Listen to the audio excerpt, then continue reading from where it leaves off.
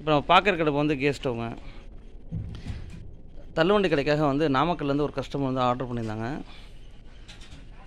இந்த அடுப்போட சைஸ் பார்த்திங்கன்னா முப்பத்தாறு நீளம் இருக்கும்.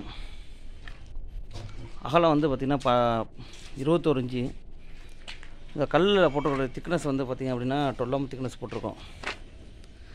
அதோட கல்லோட வெயிட் வந்து நாற்பத்தேழு கிலோ கல்லோட வெயிட் மட்டும். இப்போ அடுப்புடைய வந்து உள் பொசிஷன் தான் இப்போ பார்க்குறோம்.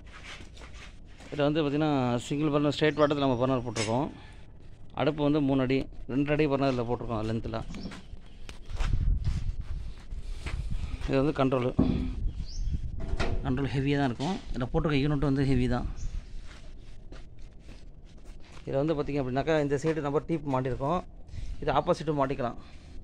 டம்மி கொடுத்துருக்கோம். தேவையான கழட்டி மாட்டிக்கலாம். அந்த மாதிரி செட்டிங்லாம் இதில் போட்டிருக்கோம்.